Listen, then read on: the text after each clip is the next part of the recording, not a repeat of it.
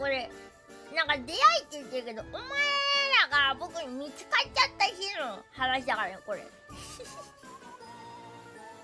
お前ら見つかっちゃった日の話だから。えー、友達の子供小学生に二次産業勧められた。これは同じやついる？友達の子供小学生に。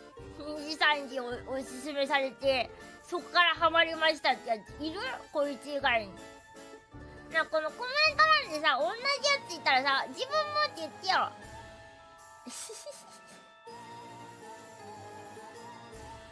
いる？小学生から。小学生に勧められたのでそっからハマりました。あんまいないなやっぱお前レアだよ。お前レアだ。見た瞬間に囚われたらしい。いいねいないね。やっぱこいつ小学生には勧めました。小学生の僕はねリアケースこれ。小学生でも契約される。高校生の息子が見てたデビ様の配信から聞こえたのがきっかけです。結構家族からもいるねさっきから。さっきのやつも家族だったし。へえ小娘と歯車かな？料理配信だから。衝撃を受けたので紹介しねばと思います。いいね。なんかパーフェクトクッキング 3D でやりたいよね。はずっと言ってんだけどずっと進んでね話が。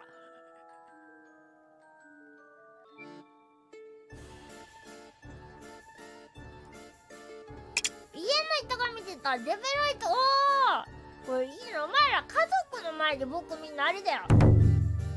族の前で僕みんなあれだよこれ。結構いるよ家族の前で。僕を見てそっから来てんの。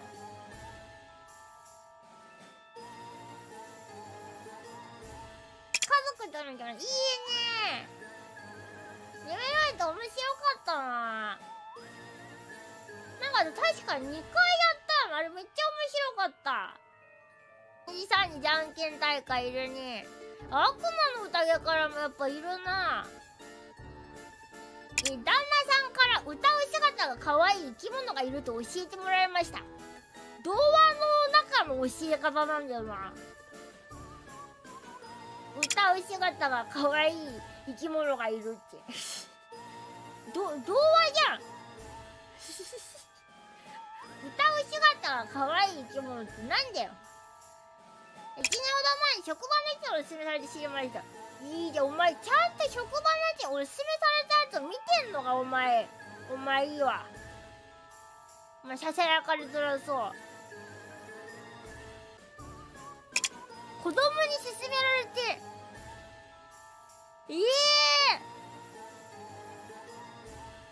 子供に勧められてってやつがさたまたま1秒差で送られてる人連続子供に勧められて子供が教えてくれましたってやつが1秒だから多分同一人物が間違えて2回送ったんじゃないと思うんだよね。その1分とかだったらさあのー、ちょっと文章がもうちょっと送ろうと思って送り直したっていう可能性もあるけど1秒は多分違うだろこれは。えー、見た目で喋り方が可愛くてそこを決めました。これ下のやつも声と姿が恐ろしくて可愛いって。えー、初めてのおしぼりチューバーです。うん。初めて恐ろしいのしちゃったね。